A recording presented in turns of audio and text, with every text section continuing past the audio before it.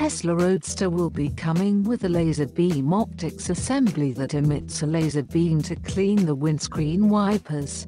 Tesla has obtained a patent on its wild idea to use lasers to clean debris of vehicles.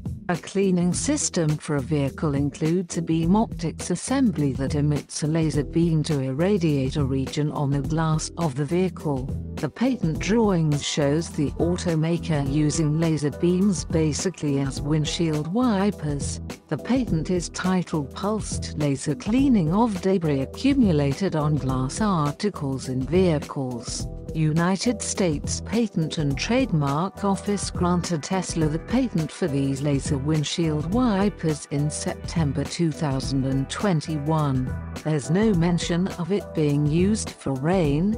The feature is expected to work in concert with traditional windshield wipers, although Tesla is also in the process of reinventing them. Elon Musk may not be a fan of radar and LiDAR, but lasers could be coming to Tesla's cars in an unexpected application soon.